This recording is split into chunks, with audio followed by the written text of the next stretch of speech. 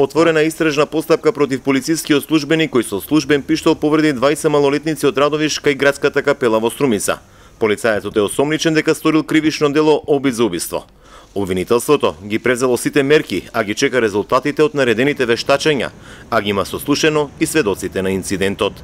Јавниот обвинител предложи низа мерки за предпазливост за осомничениот полициски службеник, забрана за напуштање на местото на живење, вршење на определени работни активности, одземена му е патната исправа, но и редовно да се јавува во Струмишкиот основен суд.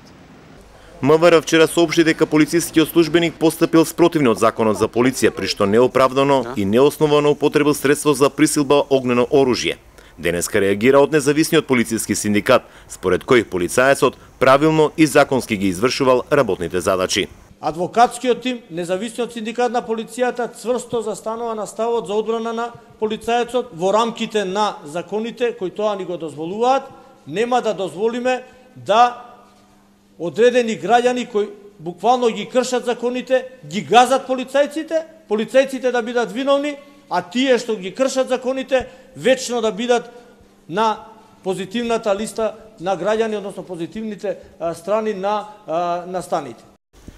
Во петокот попладне по пријава за кражба, полицајци со две службени возила ги пресретнале момчињата од Радовишка градската капела во Струмица, кои пружиле отпор и се нафрлиле на полицајецот, кој пак испокал еден куршум, при што ранил две момчиња, од кој едното со прострелна рана во градите. Последните информации на обвинителството се дека здравствената состојба на момчето на скопските клиники се подобрува и во моментов е надвор од животна опасност.